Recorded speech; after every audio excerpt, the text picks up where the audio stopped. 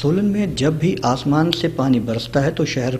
में पानी की कमी पड़ जाती है, जिसका सबसे बड़ा कारण है उठाऊ पेयजल योजना में गाद आना। ये समस्या आज की नहीं, बल्कि वर्षों से चली आ रही है। भाजपा और कांग्रेस इस उठाऊ पेयजल योजना का श्रेय लेने में आगे तो आते हैं, लेकिन नदी से आने वाली गाद की समस्या को दूर करने के लिए अभी तक किसी ने ध्यान नहीं दिया है, जिसका कारण है कि ये योजना बरसात में हाँफ जाती है। सोलन वासियों को तीसरे दिन मिलने वाला पानी अब चौथे और पाँचवें दिन मिलता है, जिस कारण बहुत सी असुविधाएँ जिला वासियों को उठानी पड़ रही हैं। लेकिन अब ये गाद की समस्या 2022 में खत्म होने वाली है, क्योंकि आईपीएच विभाग ने इस गाद को खत्म करने का बीड़ा उठा लिया है। जगह जगह पर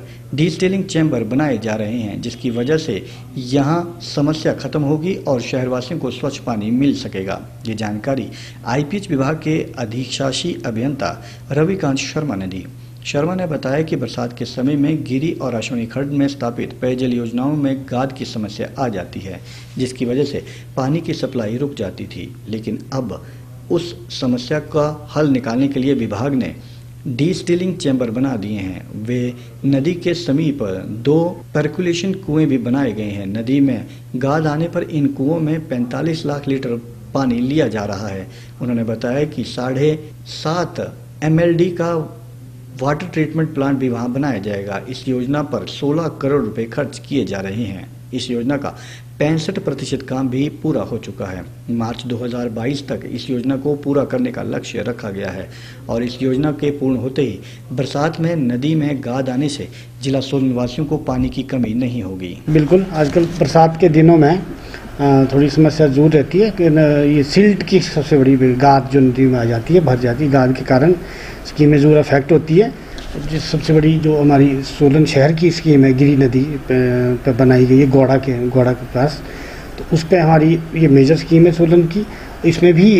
बिल्कुल भी स्कीम प्रभावित होती है। पहले प्राकलन तैयार करते सरकार से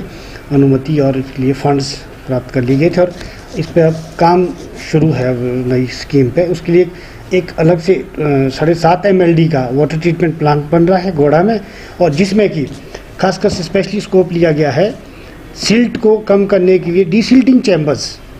डीसिल्टिंग चैम्बर्स हम उसमें बनाए जा रहे हैं और उसमें उसके साथ उसमें ट्यूब सेटलर्स लगेंगे, जिससे कि वो वो जो सिल्ट है, वो,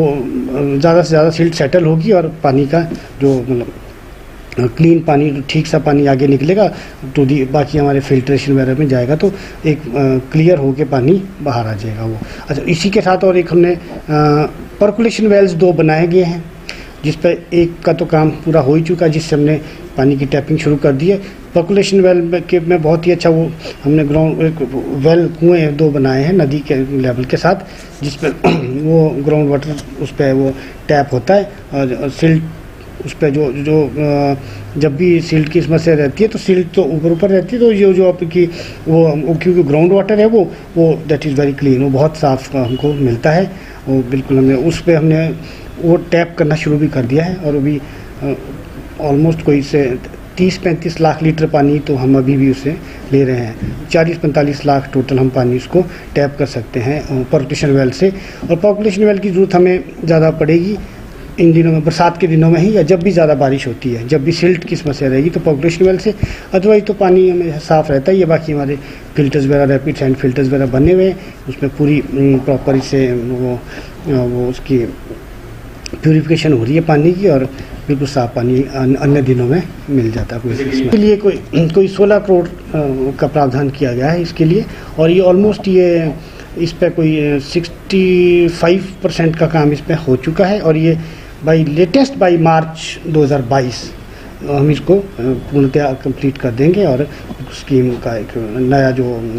वाटर ट्रीटमेंट प्लांट और ये पॉपुलेशन वेल डिसल्टी चैम्बर्स जो भी पूरी यूनिट जो इसमें ली गई हैं, पूरी फंक्शनिंग मार्च से करना शुरू कर देंगे।